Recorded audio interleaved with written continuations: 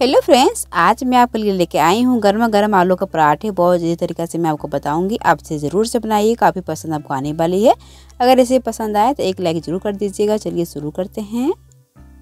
तो आलू पराठे के लिए हमें यहाँ पर चाहिए आलू का मसाला बनाने के लिए। मैंने यहाँ पर आलू को छील के अच्छी तरह से वॉश कर लिया है। उसके बाद में यहाँ पर डाल रही हूँ कुकर में। दो सीटी लगाएँगे, बस आलू यहाँ पर अच्छी तरह से पक के रेडी हो जाएगी। तो यहाँ पर ज़्यादा मत सीटी लगाइएगा, दो सीटी लगाइएगा। जब तक आलू पक रहे तब तक हम आटा लगा लेते हैं। तो मैंने यहाँ पर लिया है एक के आटा। मैंने यहाँ पर गेहूँ का आटा लिया हुआ है। आप चाहे तो मैदा मिक्स कर सकते हैं, लेकिन मैं यहाँ पर सिर्फ़ गेहूँ आटा से बना रही हूँ। तो मैंने यहाँ पर थोड़ा सा डाल दिया है अजवाइन, स्वाद अनुसार नमक डालेंगे। उसके बाद मैं यहाँ पर पराठा क्रिस्पी बनाने के लिए मैं यहाँ पर डाल रही हूँ घी, तीन बड़े चम्मच। आप यहाँ पर चाहे तो तेल भी डाल सकते हैं। लेकिन घी डालने से पराठे क्रिस्पी बनते हैं और तेल डालने से सॉफ्ट बनते हैं। आपको जो भी पसंद है डाल लीजिएगा। तो हम सभी को बढ़िया से यहाँ पे आटे को मिक्स करेंगे और मिक्स करने के बाद मैं यहाँ पर पानी डालूँगी थोड़ा थोड़ा उसके बाद हम पराठे के लिए डो अच्छी तरह से रेडी करेंगे। तो यहाँ पर आपको डो थोड़ा टाइट ही रखना है, ज़्यादा गीला मत कीजिएगा। तो मैंने यहाँ पर पराठे के लिए डो एकदम रेडी कर लिया है। तो इसे हम ढक कर रख देंगे 10 से 15 मिनट के लिए सेट होने के लिए। तब तक आलू अच्छी तरह से पक चुकी उसको हम मिस लेते हैं। तो फ्रेंड्स, यहाँ पर मैंने यहाँ पर पहले ही आलू छिला हैं इसलिए क्योंकि हमें यहाँ गर्मा गर्म बेचना है। अगर छिलने में देरी होगी तो क्या होंगे, थोड़ा चिपचिपी आलू के मसाले बनेंगे तो बिल्कुल अच्छी नहीं लगती है। देखिए, आप गर्मा गर्म मेसीएगा तो क्या होंगे, यहाँ पर बहुत ज़्यादा दानेदार यहाँ पर होंगे, इस तरह से चिपचिपी बिल्कुल नहीं होगी।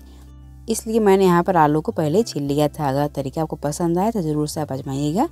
तो मैंने यहाँ पर आलू को मिस लिया है, उसके बाद हम लेंगे कढ़ाई में तेल, थोड़ा सा मैंने डाल दिया है। उसके बाद हम थोड़ा सा डालेंगे जीरा जीरा को पक जाने के बाद मैं यहाँ पर डाल रही हूँ प्याज चुप किया हुआ। तो मैं यहाँ पर चार पीस ले रही हूँ, आप यहाँ पर कम या ज़्यादा प्याज चुप कर सकते हैं। तो प्याज को हल्का पक जाने के बाद मैं यहाँ पर डाल रही हूँ अदरक, घिसा हुआ एक इंच, उसके बाद मैं यहाँ पर डालूँगी ग्रीन चिल्ली चार से पाँच पीस। तो फ्रेंड्स, मैं यहाँ पर लहसुन नहीं डाल रही हूँ, अगर आप चाहे तो डाल सकते हैं, नहीं तो आप स्किप कर सकते हैं। तो मिर्च यहाँ पर कम या ज़्यादा कर लीजिएगा। जिनको ज़्यादा पसंद है, तीखा इतने डालिए, कम तीखा पसंद है तो कम ही डालिएगा। उसके बाद हम यहाँ पर आलू के स्वाद अनुसार यहाँ पर नमक डाल देंगे। थोड़ा सा डालेंगे, हल्दी, ज़्यादा नहीं डालना है। और सभी मसालों को हम बढ़िया से मिक्स करेंगे। उसके बाद मैं यहाँ पर डाल रही कसूरी मेथी। अब चाहे तो डाल सकते हैं, नहीं तो इसके भी कर सकते हैं, लेकिन डालने से टेस्टी काफ़ी लगती है पराठे खाने में। तो सभी मसाले भुनने के बाद मैं यहाँ पर डाल रही हूँ मिसा हुआ आलू और सभी को बढ़िया से मिक्स करेंगे। तो फ्रेंड्स, यहाँ पर आप धनिया पत्ता भी डाल सकते हैं। तो देखिए, मैंने यहाँ पर बढ़िया से मिक्स कर लिया है। इसे भी हम रखेंगे साइड में ठंडा होने के लिए। तो चलिए, हम पराठा बनाना शुरू करते हैं। तो मैंने यहाँ पर छोटा सा गोला लिया आटा का और इस तरह से हम कटोरी जैसा बना देंगे उंगली की हेल्प से। उसके बाद में यहाँ पर आलू का मसाले डालूँगी दो से तीन चम्मच। आप यहाँ पर अपना मनपसंद हिसाब से भर सकते हैं। दो चम्मच चार चम्मच। और हम यहाँ पर धीरे धीरे करते हुए इस तरह से हम बंद कर लेंगे। देखिए, बिल्कुल अच्छी तरह से मैंने पैक कर दिया है। थोड़ा सा हम सूखा आटा लगाएँगे और हम साइड में रख लेंगे। उसके बाद हम सभी को इसी तरह से आलू का मसाला भर कर रेडी कर लेंगे।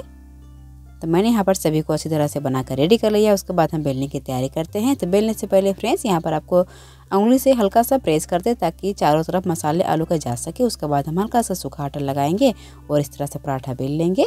तो कई घर में पराठे मोटे पसंद किए जाते हैं, कई घर में पतले थे। मैंने देखिए इतना ही मोटा ही रखा है और तवा को मैंने पहले ही गर्म करके रखा था। मैंने यहाँ पर डाल दिया पराठे को, एक तरफ़ पक चुकी है, इसे भी हम पलट देंगे। तो एक तरफ़ हमें यहाँ पे कम पकाना है, दूसरी तरफ़ ज़्यादा। देखिए दूसरी तरफ़ भी पक चुकी है। उसके बाद मैं यहाँ पर डाल रही हूँ घी। तो आप यहाँ फ्रेंड्स, घी, ऑयल, बटर, जो भी आप पसंद करते आप यहाँ पर यूज़ कर सकते हैं। लेकिन मैं यहाँ पर घी डाल रही हूँ। तो देखिए, मैंने एक तरफ़ घी लगा लिया है, दूसरी तरफ़ हम फिर से लगा लेंगे और प्लेट की अच्छी तरह से प्रेस करते हुए पराठे को हम बना लेंगे। तो बहुत ईजी तरीका है फ्रेंड्स, आप एक बार बनाकर ज़रूर से देखिएगा। तो सभी पराठे यहाँ पर गुलगप्पा की तरह, यानी कि गुब्बारे की तरह फूलने वाले हैं। तो देखिए, एक पराठा मैंने यहाँ पर बिल्कुल बना कर रेडी कर लिया है। तो देखिए, बहुत ज़्यादा अच्छी तरह से मैंने यहाँ पकाया है, बिल्कुल भी कच्ची नहीं है। दूसरे पराठे मैंने फिर से डाल दिया है और सेम इसी तरह से बनाकर रेडी करेंगे। आलू के पराठे, बच्चों को इतने पसंद होते हैं, वो तो नई चटनी मांगते हैं, नई सब्ज़ी, बस ऐसे ही खा लेते हैं। आपके घर में जो भी पसंद करते हो फ्रेंड्स, आप बना सकते हैं, चटनी हो या सब्ज़ी हो, किसी के सब्ज़ी साथ एंजॉय कर सकते हैं। देखिए, मैंने सभी को बनाकर रेडी कर लिया है।